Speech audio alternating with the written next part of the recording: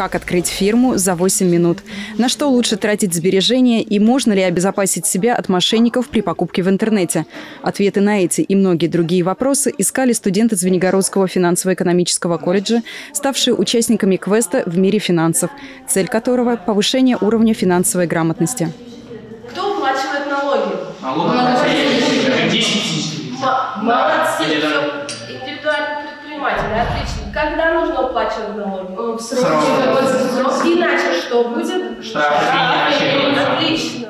В квесте приняли участие более 100 студентов колледжа, 8 команд, 8 локаций и всего 7 минут на выполнение одного задания. Каждое заключается в прохождении финансовой викторины, разгадывании ребуса или кроссворда в разных категориях – от личных финансов до бюджета государства. Успешно справляться с испытаниями позволили полученные навыки. Мы уже не первый год проводим мероприятия по финансовой грамотности. Мы проводили в школах, в университетах. Сегодня мы приехали в Звенигородский колледж. Здесь ребята очень активные, ответственные. У них присутствует командный дух. Со всеми заданиями справляются отлично.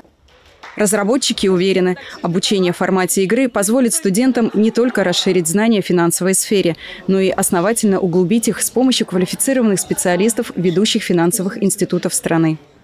Мы решаем ее с помощью игр, чтобы детям было не скучно, чтобы то, что они проживали, они проживали вместе с эмоциями. Ведь когда мы испытываем какие-то эмоции, мы это запоминаем.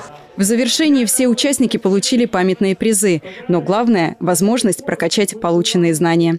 Елена Краева, телекомпания «Одинцова».